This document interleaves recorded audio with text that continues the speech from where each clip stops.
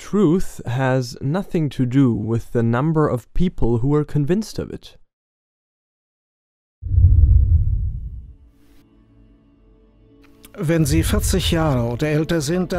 If you are 40 years or older, you may remember January 28, 1986.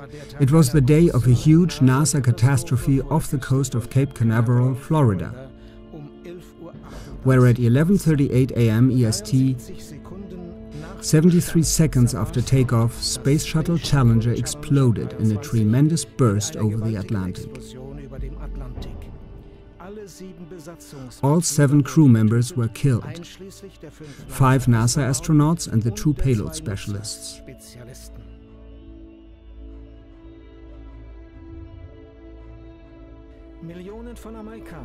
Millions of Americans, 17% of the total population, were watching the launch live on TV due to payload specialist Christa McAuliffe, the first teacher in space.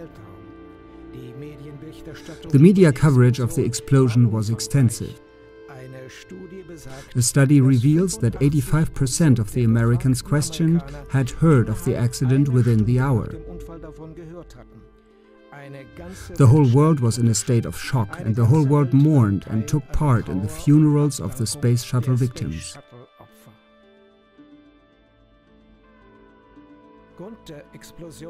The failure of an O-ring gasket of the right-hand side solid fuel booster was the cause of the explosion. The shuttle did not dispose of an ejector seat system, and the impact on the ocean surface was too severe for anyone to survive.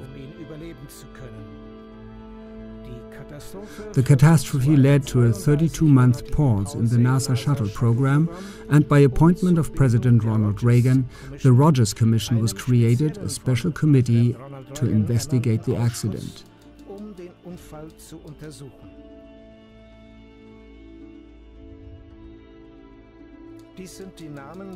These are the names of the seven crew members of the Challenger. First, Francis Richard Scobee, Commander. Second, Michael John Smith, pilot. Third, Ronald McNair, mission specialist.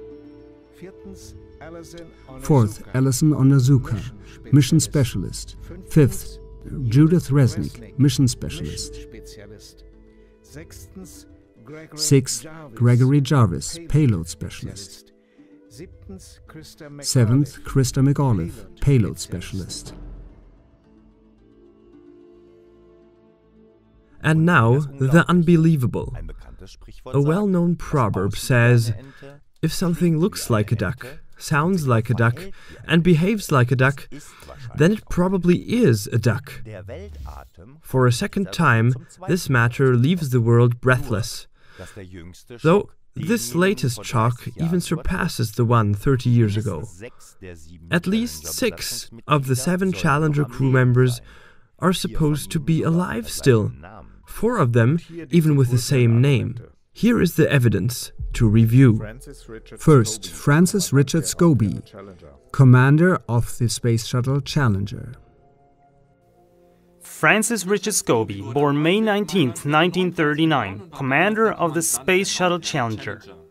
Exactly 30 years after the Challenger crashed, he was spotted as a CEO of Cows and Trees which was and today still is a marketing advertising agency in Chicago. When you take a look at these two pictures, you can see at least three features that show a strong resemblance. First, the same high forehead and the same eyebrows, and also the eyes facing slightly downwards at their outer corners. And all this always with his middle name Richard and the same age. You can find the picture on the right side also on his LinkedIn page. When visiting the Cows and Trees website, which I've opened here, you come across an animation with a rocket-driven cow. And the dust swirled around forms the number 6. The whole thing reminds strongly the Space Shuttle Challenger on TV when it exploded in midair. Just how black would such a humor be? Second, Michael J. Smith, pilot of the Challenger.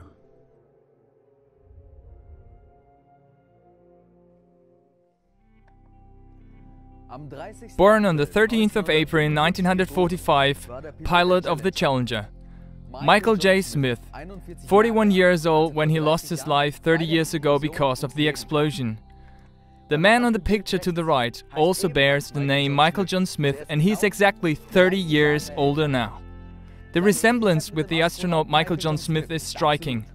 The same horizontal eyebrows, the same grey blue eyes, the same vertical indentation on the tip of his nose. We are talking of an emeritus professor for industry and system engineering at the University of Wisconsin Madison. Michael John Smith email address is mjsmith at k.wisc.edu. Third, Ronald McNair, mission specialist of the Challenger. Born on October 21, 1950, Ronald McNair was the second Afro American astronaut with a doctor's degree in physics. The 66 year old Carl McNair on the right looks just as Ronald would look today. One day, this fact attracted the attention of some American citizens. When addressing him about the astonishing resemblance, it is said that he responded spontaneously that he was the twin brother of the killed astronaut. As the resemblance was more than striking in every aspect, some fellow citizens began to doubt this assertion. Because they did not just want to put out empty allegations, they began to investigate. Previously, it was not known that the late Ronald McNair had a twin brother. However, there was a lot to discover about Carl McNair. For example, that he is an author, an educational consultant, and an inspired speaker. That he is the founder and retired president of the Ronald E. McNair Foundation, which he had established in honor of his deceased brother. One detail, however, could not be clarified at the time of that investigation. There are no indications for a twin brother of Ronald McNair named Carl from before 1986. Here's the report of the research of a free journalist. On Ancestry.com, I have performed a search for a Carl McNair, who claims to be the brother of the astronaut Ronald McNair. Carl S. McNair's LinkedIn page mentions December 16th as his birthday. On Wikipedia, Ronald McNair's parents are Carl C. and Pearl M. McNair. So I searched Ancestry.com for any birth or baptism records for a Carl McNair born on December 16th, whose father is Carl McNair and Pearl McNair his mother. Search results. In the birth certificates of Texas between 1903 and 1932, there's only the record of Herschel John McNair, born on October 12th in Rosewood, Upshur, whose father father's name was William McNair and his mother's was Pearl McNair. In other words, according to Ancestry.com, there is no Carl McNair, brother of Ronald McNair. Here's the screenshot of the respective page of Ancestry.com with a timestamp in the lower right hand corner. 10:18 a.m. on 5th of September 2015, circled in red. Just to make sure, I redid the search for Carl McNair. This time I have limited the search to Carl McNair with a father named McNair and a mother called Pearl. I found no Carl McNair, whose father's last name was McNair and whose mother's first name was Pearl.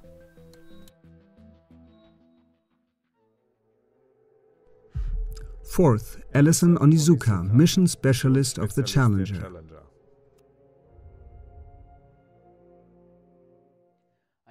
Another mission specialist of the Challenger, Ellison Onizuka, was the first Japanese-American astronaut.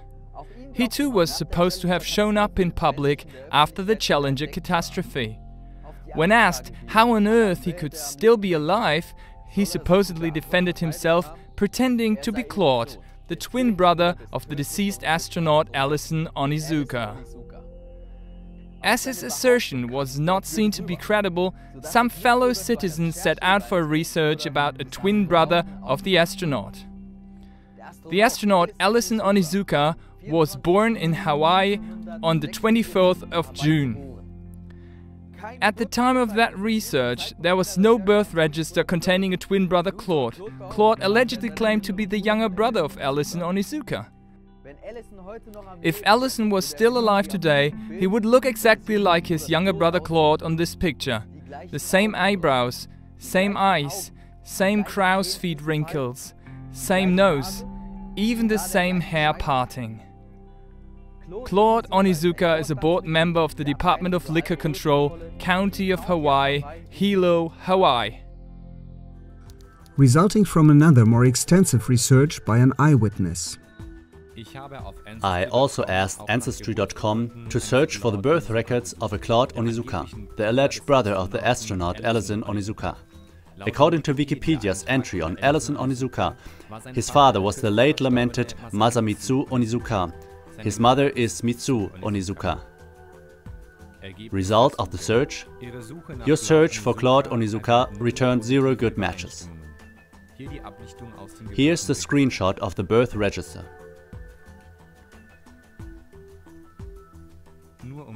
Just to be sure, I redid the search for Claude Onizuka, this time without specifying the names of the parents. There were 36 results, none of which was Claude Onizuka. In other words, according to Ancestry.com, at the time of this research, no one named Claude Onizuka had ever been born in the United States. Fifth, Judith Resnik, mission specialist of the Challenger.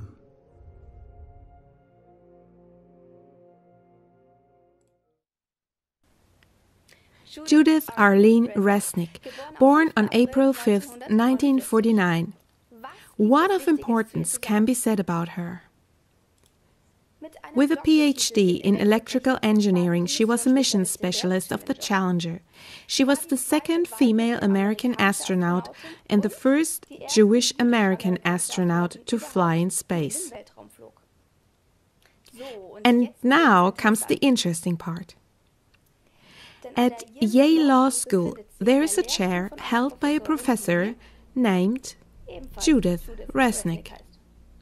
The same name, this may occasionally happen. However, not only is it remarkable that now she is exactly 30 years older than the astronaut Judith Resnik when she was killed, she has exactly the same name, the same appearance, and the same voice as the deceased astronaut.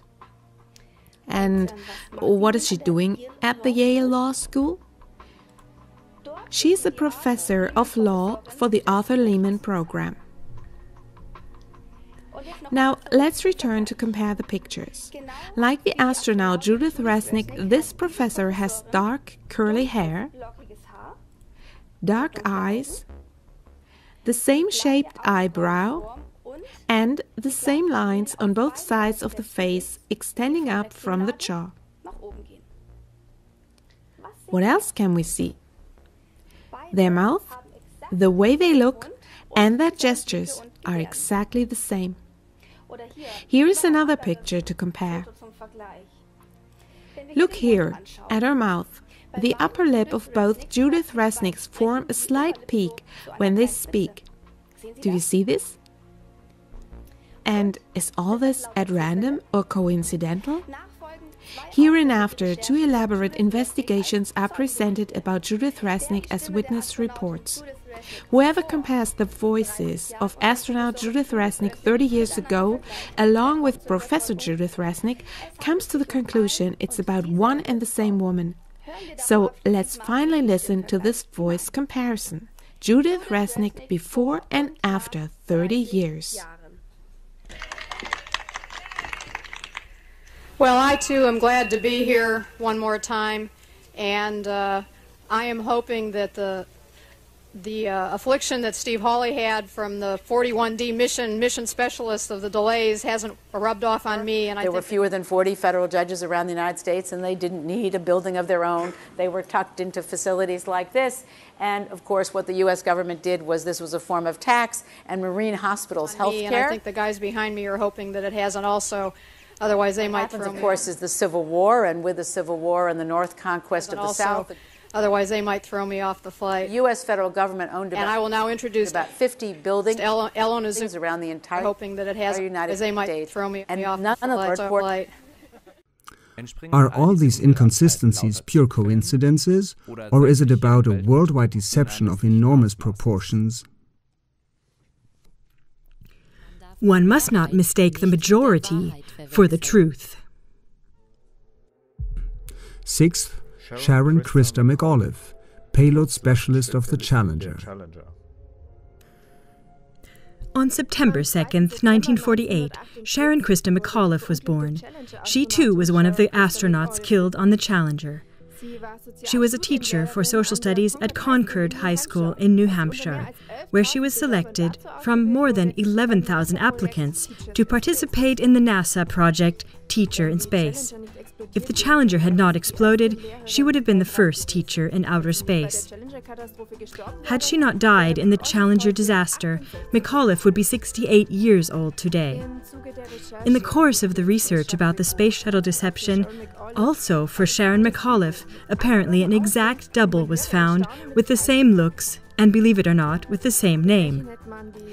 Even considering the 30 added years, this exceptional professor of law at Syracuse University looks exactly the same as the astronaut McAuliffe. But not only does she look identical, but she is also exactly the same age. Note also the details, for example, how her hair growth extends from the center of her hairline to the left of her forehead. The same lawyer, Sharon A. McAuliffe, who works for Syracuse Law School in New York State, is also a cousin of Virginia's governor, Terry McAuliffe. And he, in turn, had supported the re election of Clinton and the election of his wife Hillary as her campaign chairman. Furthermore, he stood up for the support of NASA, in particular for the matter of the rocket launching site on Wallops Island, Virginia, in the Atlantic Ocean. In all these researches, it is important to state that it would be one thing if a single crew member of the Challenger would resemble to a person still alive. That could be dismissed as a mere coincidence. But it is quite a different thing if six members from one and the same Challenger crew have a look-alike, living in one and the same country, and in not less than four cases even have the same name. The rough guess of a physics teacher is summarizing this probability with the following figures and illustrations. By using a binomial distribution, one can ascertain how likely it is that an event with this probability occurs four times within 10 years. Roughly guessed, this leads to a probability of about 10 raised to the power of minus 160. For comparison, the probability of being hit from space debris is indicated by computing experts with a probability of about 6 times 10 raised to the power of minus 13. So it is more likely to be hit by some comet fragments 7 times in your life than such a collection of lookalikes would come about. But probably this figure is even much higher.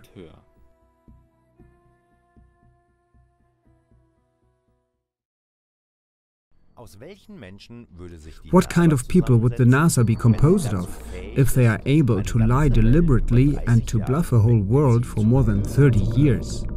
After all, the NASA is an institution which is devouring multi-digit billion dollar amounts of tax money and private donations every year. What does it mean if not less than four elite universities would be involved only in the worldwide space shuttle fraud? The following questions must be absolutely clarified. Who else could be involved into this fraud? Considering all the astronauts presumed dead would then be found as lawyers, jurists, financial experts, etc.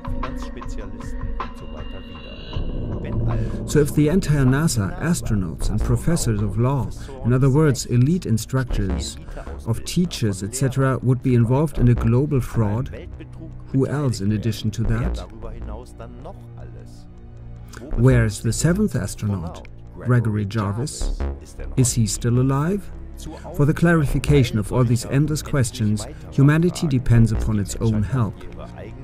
Whoever is capable to help is welcome to participate in the clarification of all the problems addressed in this film. According to eyewitness reports from NASA insiders, the NASA did not only lie in some ways, but in every way. A NASA insider reveals. When I was talking with the gentleman from Bellcomm, and, and we were discussing uh, the lie, everything he was telling me was different from what we were being told uh, was the truth. And at one point I asked him, I said, man, you guys you, you lied about a lot, didn't you? And instantly he said, no, we didn't lie about certain things. We lied about everything. None of it was true. Repeatedly in their advertisement films, NASA boasted that their space flights created jobs, first of all in the industry. But now the most urgent question is this which jobs in exactly which industry? At least in the spaceflight industry, various NASA astronauts were not taking an active part during the Great Moon or Space Shuttle flights. So a NASA insider recently claimed that he cannot take part anymore for his conscience sake in the whole worldwide deception, as he calls it. He says that the NASA does not lie to the world only in some aspects, but in every single aspect. Because of similar testimonies of other NASA insiders, freelance journalists took a kind of a crucial test. With a Bible in their hand, they placed themselves in front of all these famous hyped astronauts and let them swear on the Bible that they really had been on the moon and had not been lying to the world. But listen and watch for yourself. And like this, all astronauts reacted when being asked. You want me to knock you in the head? Well, I want you to I want you to swear to God on the Bible that you walked on the moon. Okay. If you walked on the moon, we're given the opportunity to swear to God that you walked on the moon. I'm going to give you the opportunity to get the hell knocked out of you if you don't leave me alone. So why don't you just put the end to the record in the argument and put your hand on the Bible, swear to God you walked on the moon. Mr. Sibrel, yeah. knowing you, that's probably a fake Bible. You really like attention, don't you? You're the one who said you walked on the moon when you didn't calling the kettle black if I ever thought of it. Saying Will I misrepresented get myself. away from me. You're a coward and a liar and a thief. You're a coward and a liar. You're a coward and a liar. Well, you're talking to the wrong guy. Why don't you talk to the administrator in NASA? We're passengers. We're, we're guys going on a flight. I don't hit people, but you're going to be on the deck unless you get. Well, I'm heading out. I appreciate it. And get the hell out of my house. Well, I take your stuff and get the fuck out. Why don't you quote me and say it's bullshit? I'm in the shadows in the wrong. I don't give a, I don't give a damn about all that shit. You're full of shit. Of lunar orbit being falsified. Being falsified? Correct. We got an unedited tape from a source at That's the Johnson Space Center. Yes. Totally nonsense.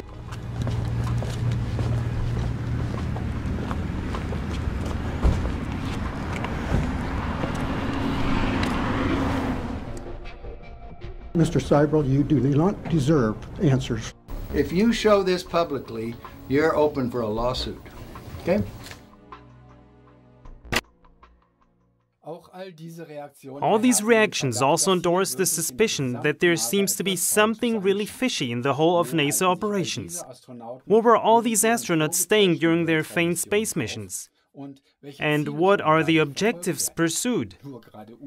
Were they only on vacation at the expense of taxpayers and investors? Probably not. But which are the imaginings all these people are realizing during their world famous moon and space flights when they are not on board of a rocket? Therefore, the world public would have to ask the following questions How many pictures taken by NASA are actually real? Which of the pictures are faked? Is the entire scientific worldview incorrect? Which branches of science are lying as well? Where went all those trillions of dollars of donations and tax money if it was not used for the pretended purpose? Which mass media are involved? Had the mass media been fooled or are they part of the fraud? Which global corporations are also involved? What about the moon if the whole story of the moon landing has been faked? What number of government bodies, legal institutions, military people, and secret services are part of it? How many universities, faculties, law schools, economic sectors, and so on are involved? Klagemauer TV thanks you in advance for all relevant information.